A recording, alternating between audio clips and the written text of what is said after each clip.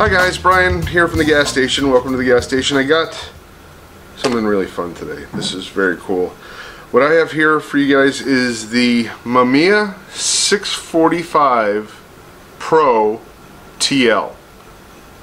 It's a mouthful. Anyway, I I'm sure you can tell that I am a big fan of medium format. I love medium format cameras. I have a ton of them. I love them. I shoot them. I love the big negative. I love the feel of a, a big nasty beast of a camera. Um, I showed you guys my Hasselblad last time. Uh, this camera, nothing but cool. Um, this there's a whole line of Mamiya 645 cameras. Um, this particular camera was sort of the last in the line of the um, manual focus uh, cameras. This is the top of the line of the manual focus line. They went after this. They went into the AF series of cameras, which were the autofocus cameras. Um, they are different. There are differences. They're not really interchangeable with parts and stuff like that. Um, pretty much from there's there's a few generations. Again, the original uh, 645s aren't really compatible uh, with these. The, the, one commonality though between these is the lens mount, so the lenses are, are largely compatible, um, and so you can swap swap those. And Mamiya glass, my friends, is amazing glass. It's really great stuff. Um, there's, there's no doubt about it. Um, I don't think you would be disappointed in any way whatsoever um, getting Mamiya stuff and getting the Mamiya glass. It's just, it really is good. Mamiya, Mamiya, however you want to pronounce it, that's fine. I say Mamiya, you say Mamiya. Let's get started with the review. So, long and short of again, Mamiya glass is great glass. Tons of Mamiya glass out there. Very inexpensive, super high quality. Uh, great, great way to get into medium format. Um, this is not a Lomo camera, but you'll spend less on this probably or a, a similar setup than a full Lomo setup. Now I'm not putting down Lomo, but you're going to get really great, super sharp, pro quality images uh, out of this camera. Can you know if you can shoot that well? But the, the you, this this camera will not be your limitation um, if you're trying to take great pictures. This camera is only going to help you. It's going to move you forward. So I'm gonna, let me tell you a little bit about this camera. Now I'm not going to go through the whole line of Mamiya and what's different between this and that. I'll point out some stuff here and there, but for the most part, this is the 645 Pro TL. TL is basically uh, the TL part of that is uh, the fact that this does uh, through the lens metering for your flash. So that's that's the main difference. And you, and you might see the Mamiya 645 Pro and there's the Super and stuff like that. They're largely the same camera. There are differences between them. There are differences, you know, along the lines, but they're largely the same setup and style of camera. So let me just go through this camera a little, little, bit. Let me show you how modular it is and all sorts of stuff. This is just very, very cool stuff. On here, what I have is the standard 80 millimeter f2.8 lens, which in its own right is really just a wonderful lens. They actually make a 80 millimeter 1.9, which is, I believe, one of the fastest uh, medium format lenses around ever, or something. Um, yeah, it's if you can find the 1.9, great lens, very cool, very great out of focus um, areas. Uh, by the way, I'm changing uh, bokeh. I'm going to switch that to out of focus areas. So uh, we're going to call it UFA. So the UFA in the back is great. So when you see the picture with great out of focus area, you go UFA. So anyway, I'm sorry, I'm tired. But anyway, um, the 50 millimeter 1.9, this 80 millimeter f2.8. They go, you know, 30 millimeters. There's tons of wides available for these. Um, great, great camera. Um, and the lens comes off here on the side. There's a button right here. You pull that back, and then you turn, and then the lens comes off, and you have an SLR um, single lens reflex. The mirror does go up when you uh, when you press the shutter, and uh, it uh, it does block out the viewfinder. It's not like a rangefinder where it just stays uh, constant throughout. Um, I'm going to give you a quick run around on the camera, in the front of the camera. Here, this is a switch uh, for this is a shutter button here. So um, if you don't have this grip on it, I'm going to I'm going to disassemble this camera in a minute. But if you don't have this grip on, you can use this as a shutter button. With the grip on, the shutter button is here. Oh, I hit it by accident. So it's winding. It's doing its thing. Anyway. Um, I'll shut that off. But there's an on-off switch here. This is basically what they call the SV kit. I'm assuming that's super value kit. Um, it's sort of a lower end uh, finder, but it's an AE finder, so it's an auto exposure. So there's a light meter built into this camera that does affect what happens on the lens. So it is going to, you know, sort of a program mode, I guess, as it were. Um, and that is built into this camera, and it, that that functionality comes from this viewfinder here. So, all right, so back back to the front of the camera. This is on-off switch for this shutter button, and it's also uh, the switch for the self-timer. Um, this button on the bottom here is the battery check, which will light that up if you have good battery action happening there. Um, and that's pretty much it just generally on the front of the camera there's auto and manual switch on these lenses so if you put it into automatic or you know um, auto exposure mode. This needs to be an A. Uh, if you want to do stop down metering you switch it to M. Uh, the top of this here again this is the finder. This is a uh, what they call a, a, reflex finder. It's a mirrored finder. And um, it is the, the image that you would see through the lens and it has a built-in diopter adjustment there. So if you wear glasses this finder is really wonderful if you wear glasses. It's big bright beautiful. It's easy to see through. No problems really love it uh, really really enjoying that um, shutter speeds as opposed to like if you go into the Hasselblad unless you're going to one of the uh, focal plane shutter Hasselblads which go up to one thousandth of a second this one actually goes up to a thousandth uh, one one thousandth of a second which is pretty pretty good on a big uh, medium format camera. Um, flash sync is at 160th. Again, with this camera, there's lots of options. There are lenses that are made which have uh, the shutter in the lens, a, leaf shutter in the lens. You can hook that up to this camera and get higher shutter speeds if you do that. Again, how deep do you want to go down this rabbit hole? That's up to you. But I'm going to show you again more about this basic camera. Uh, hot shoe mount. This uh, here or down here, I'm not sure which one of these ports. Anyway, one of these ports is for a, um, a remote release. Um, and there's an adapter you can get so it's a remote release with a standard plunger. Otherwise you have to buy a proprietary one which works with the camera and they have funky plugs and stuff like that. So if you're using a remote release that's that's up to you. Strap lug mirror lockup right here. That locks up the mirror reduce camera shake. Um, hot shoe on the side. Uh, as with most uh, cameras in this sort of SLR uh, arrangement, there's a dark slide here that you have to pull out when you're uh, about to take your picture, and that actually has a storage space uh, in the back right here. So you just store your dark slide there when you're shooting, take it out when you're all done, put it in there when you want to change backs or uh, do anything like that. Um, to change backs on this camera, again the dark slide has to be in push down and this pops up and then your back comes right off the camera which is very very cool um, ISO is set on the back which is really nice because if you if you put in like 400 speed film in here you set this to 400 if you have another back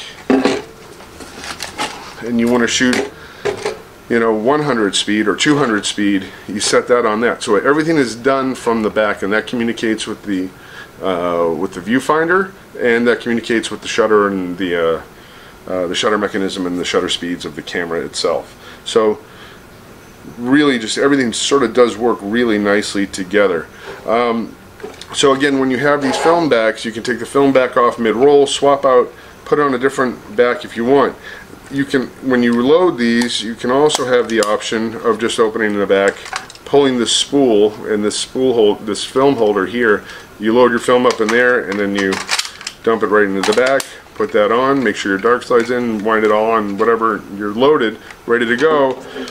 You just grab it and put that right on your camera and you're ready to rock and roll. And your camera will uh, will adjust everything to suit based on the ISO um, within that uh, film back. Very cool stuff.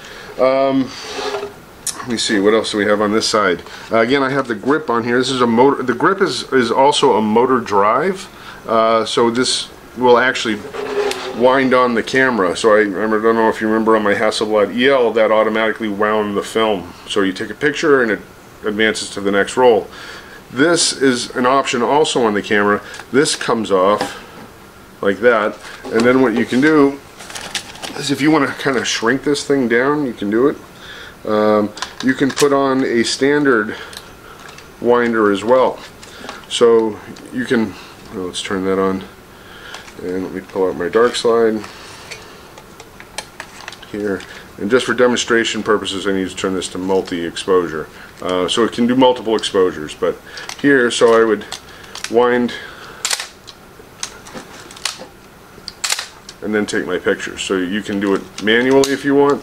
Um, if you rather use the, the, standard twist style, you can do that and just twist on, take your picture, or if you want to wind on, you can use the winder too, which is really nice. So this is sort of like the incredible shrinking camera, which is really kind of cool. Now let's say I want to, and this also still works with the uh, the automatic metering of this, um, of, of the, uh, the reflex finder. Um, it does have uh, shutter speeds down to four seconds, I believe. Yep, four yeah four seconds in bulb. Um, so not a big long exposure camera unless you do it on bulb and then time it yourself. Uh, but all shutter speeds are done or, or changed right here actually. And you would press this little button to take it off the auto exposure uh, or off your flash metering, and then it'll cycle through to the AE settings right there. But let's say I have a meter, I want to go outside and I want to make this thing even smaller. Well, you can do that. The viewfinder pops off and you can now put on a waist level finder here, which and this just clicks right in there.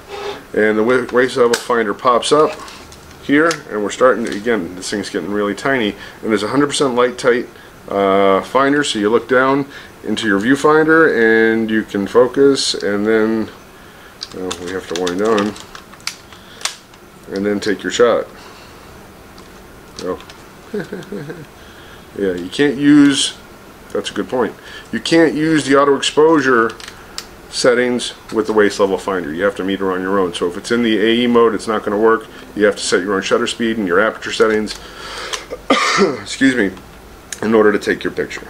So here we focus, we've set our aperture shutter speed because we're using our light meter or our Sunny 16 rule, and boom, there we go.